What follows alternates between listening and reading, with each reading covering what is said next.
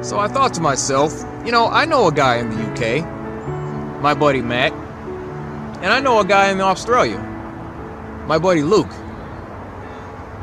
So I decided to give him a call. And let me tell you a little story. Actually, I won't tell you about it. I'll just show you what happened. And here we go. Hey Matt, how's it going? Yeah, good. Fantastic. Uh, just doing a time check. About what time is it where you are?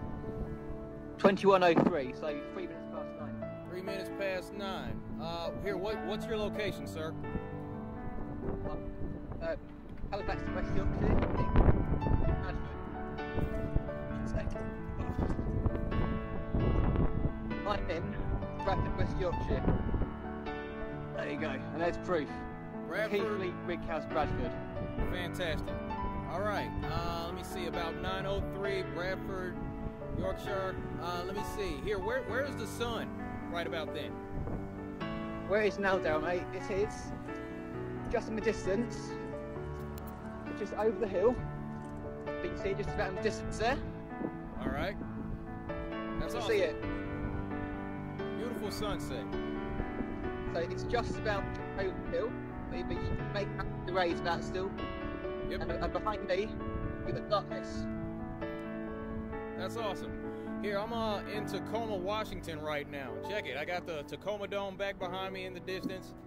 And then you That's can it. see the uh, Tacoma skyline back here over the city. So that's where I'm at. And we're looking at the same sun. That's fantastic. All right. Uh, well, I appreciate you participating in this project. And uh. Hey, that's fine. thank you, sir. You have a fantastic night. I'll see you soon. See you, mate. Uh-oh. Stay fly.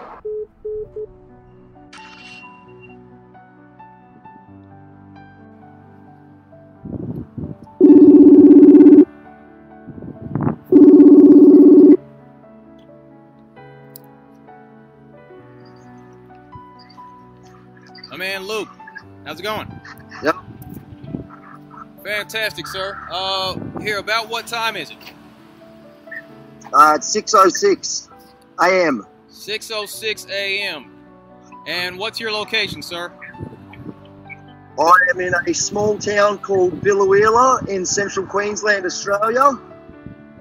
I'm standing outside the Callide Valley Lions Park, um, the corner of the Dawson Highway and Cooper Street. Awesome.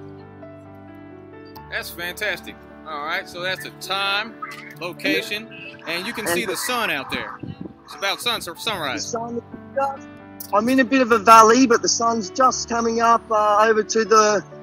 I from memory, I think it's about northeast, about 60 degrees. Uh, that's just off the top of my head, but All good. All right. Uh, sounds good. I am currently in Tacoma, Washington. Got the sun right above my head right here, as you can see. I got the Tacoma skyline in my background over here, as you can see also, uh, and the world famous Tacoma Dome in the distance. So that's my location. So yeah, man, uh, I'd like to thank you for your participation in this project. Uh, I'll talk to you a little bit later, buddy. no worries. Notice the nice, nice uh, shadow on the moon up there behind me, also. Oh, you got the moon too. That's sick. Yeah. Awesome. All right, take care. All Talk right, soon. Luke. Stay flat. You too. Yes, sir. Always. All right. Later. Editor's note. Graphical representation provided to us by the trusted scientific community always shows half the Earth receiving light from the Sun, which on a globe Earth that rotates approximately every 24 hours, we should expect there to be a definitive 12 hour allowance for all points on the Earth that receive the Sun's light. You just saw the Sun at 9.03 p.m. and 6.03 a.m. This signifies a 15 hour period of illumination, which is not consistent with the heliocentric model. So you were able to see right there in that video that the sun was visible from the west coast of the UK in Yorkshire, England, you were able to see that the sun was rising on the east coast of Queensland, Australia. You were able to see that the sun was above my head here in Tacoma at 103 in the afternoon. Now I want to ask you, do you believe that's possible on a globe? I mean, the sun should have been hidden behind the curvature on one of these places, right? It shouldn't have been visible in all three places at the same time. But it was.